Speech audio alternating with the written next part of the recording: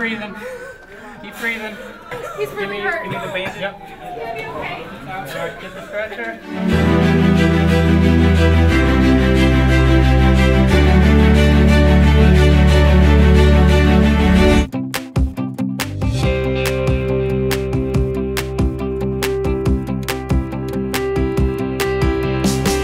Center the H-cleat over the wound.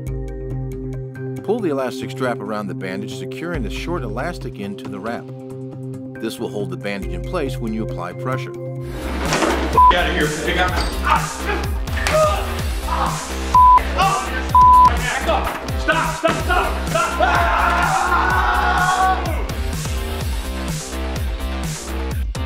Make sure the first half is properly positioned underneath the patient and then slide the other half of the combi carrier to under the patient.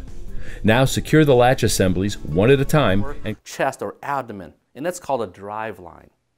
The drive line connects to an external controller that can either run off of AC power or batteries. chances for survival are significantly higher when you dial 911. Paramedics can begin treatment immediately and alert specialized heart attack or stroke teams.